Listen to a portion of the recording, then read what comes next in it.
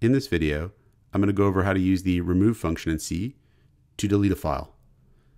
So the remove function is defined in the stdlib.h library. So the first thing I'm going to do is include that library.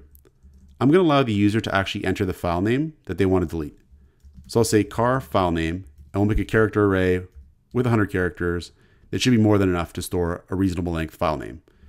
Then we'll prompt the user to enter the file name. So we'll say printf file. And then we'll store the file name they enter into that file name array. And then to call the function itself is relatively simple. We're just going to say remove, and then as the argument, we give the file name. We give the string that is the file that we want to delete. Now, if the function isn't successful, it's going to return negative one. If it is successful, it's going to return zero. So we could do a check here. We could say if remove doesn't equal zero, we know something has gone wrong. And we're going to handle that case here. Otherwise, we know that it's worked. So we'll say else printf percent %s deleted slash n, and we'll put the file name here.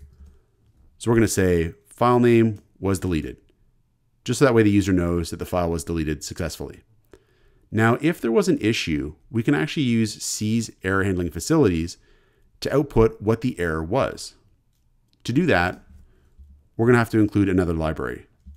We're going to include this errno.h library. And then to output the error number and error itself, we can use the relevant functions from that library.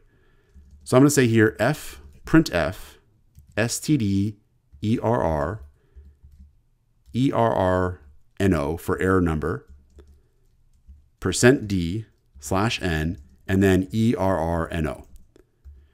So this is going to do a printf to std err.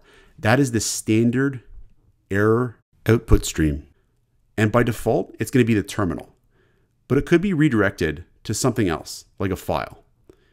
And we're going to output the error number. We're going to say error number, percent %d, and this errno, that's going to be set by the remove function if there is an error.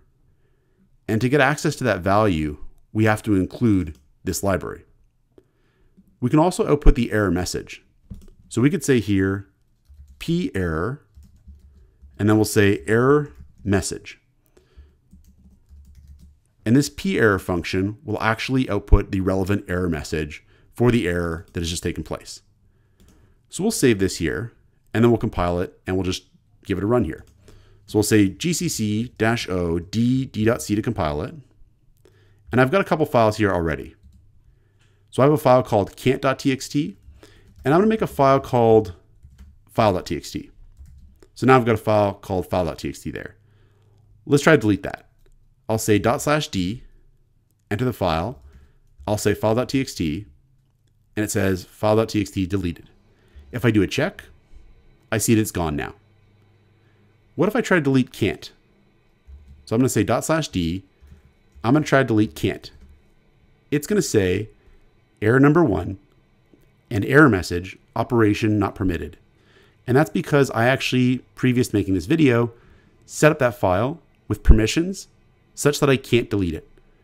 So in other words, I use the Mac OS operating system to give that file permissions such that I can't delete it. And so it's not going to let me delete that one. You can see that it's still there. If I try to delete a file that doesn't exist, we're also going to get an error message.